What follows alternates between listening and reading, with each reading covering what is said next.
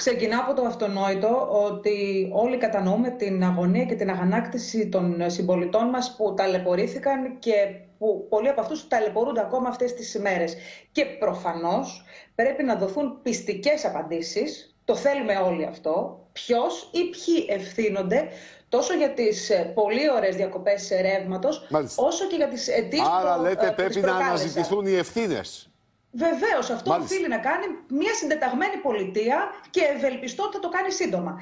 Από εκεί και πέρα θέλω να ε, πω και κάτι που το ξέρουμε και το έχουμε δει κάθε φορά όταν έχει συμβεί ε, μια κρίση.